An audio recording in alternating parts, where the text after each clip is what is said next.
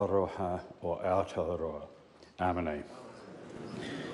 Uh, no petitions have been presented, no bills have been introduced, but ministers have delivered papers.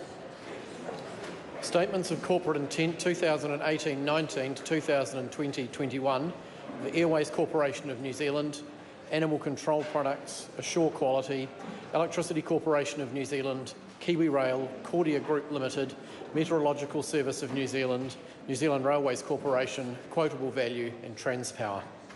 Now, those papers are published under the authority of the House. A select committee report has been delivered for presentation. Report of the Health Committee on the Misuse of Drugs Medicinal Cannabis Amendment Bill. That bill is set down for second reading. The House now comes to oral questions. Question number one. Thank you, Mr. Speaker. My questions to Uh, Prime order, order. I think, I think we might have two points of order, and I, uh, Shane Reti is the senior member. Thank you, Mr. Speaker.